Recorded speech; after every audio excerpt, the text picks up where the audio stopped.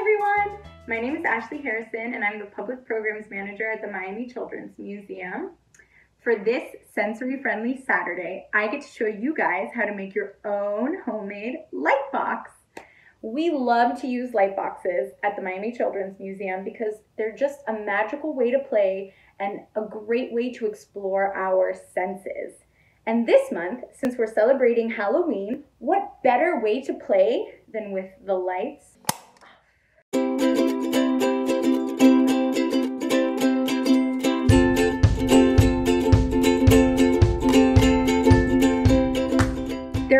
lots of benefits to playing with light boxes. One, for example, is that it creates a calming atmosphere that can help lower your child's arousal levels. It also encourages curiosity, and if you have multiple kids at home, it's a great way to practice sharing and to also engage in that social play.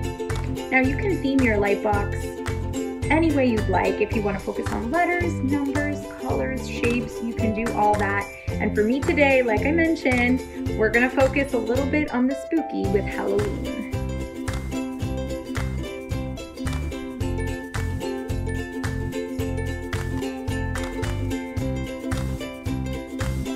For our light box, we're going to need a clear plastic bin with a lid, preferably a lid with some latches on the side to keep it closed. That way you don't have any little fingers coming into your bin. You'll need some white Christmas lights. Um, you'll also need either wax paper, parchment paper, something to help you diffuse the light in your box with some scissors and tape. And then later on, I'm gonna show you some tricks for manipulative. So for that, you'll need some clear plastic sheets. You can use permanent markers or dry erase markers.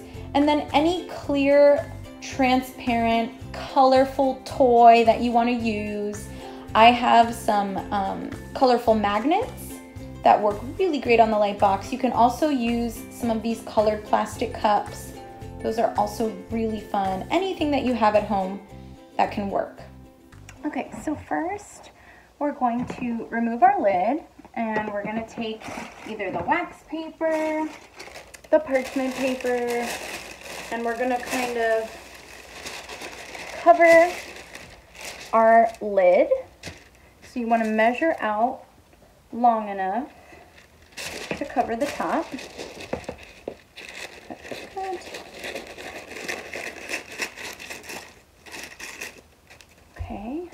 and then you're going to tape down the edges with your tape. Doesn't have to be perfect, just to kind of help spread that light out a bit.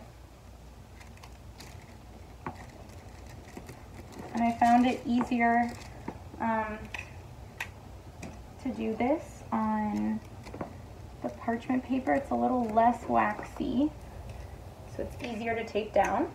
Just a little tip.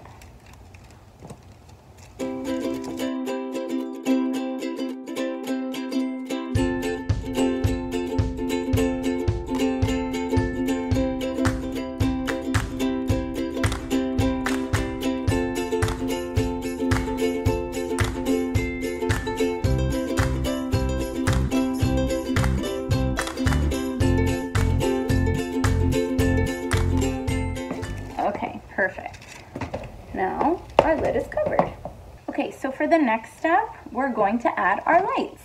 So open your box and you're gonna put inside your box your white Christmas lights. Um, I have a kind of a large box, so I am going to use two sets that I've put together and you're just gonna spread them out around your box.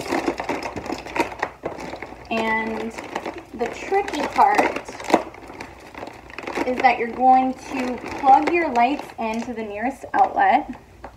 And unfortunately mine doesn't have some extra string here, but a lot of lights do have a little bit of a longer string that you can rest right outside of your box. You want to lay your lid back on on that straight part of your light. And then we're just gonna close up with our latches. And then basically, that is your light box.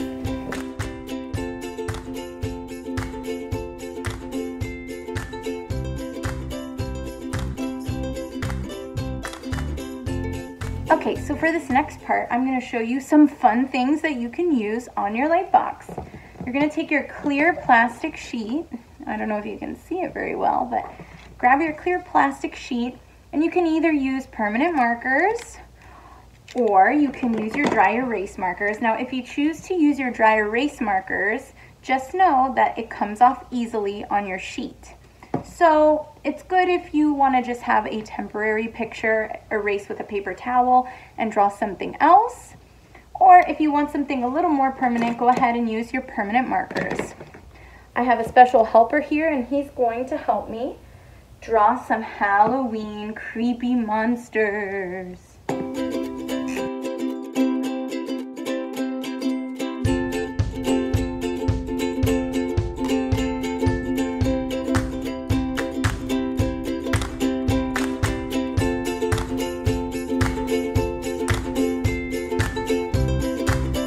We've got our nice little festive ghost here. We've got our boo. We have our witch's hat.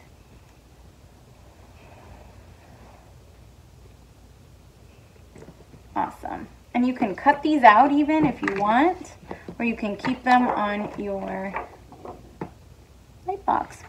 But because they're transparent, they show up really nicely on your light box. And now, of course, the last step is you can add any of your toys.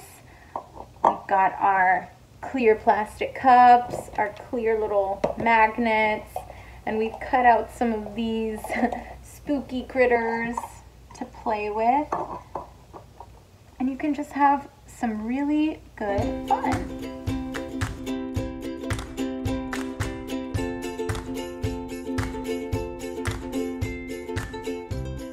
And there you have it, your very own homemade light box. Thank you for joining me this sensory friendly Saturday. I'm Ashley. Hope to see you next time.